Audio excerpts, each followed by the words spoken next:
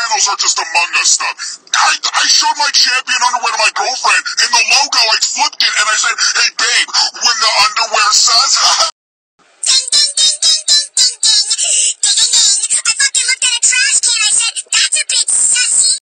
I looked at my penis, I think of the astronaut's helmet, and I go, penis,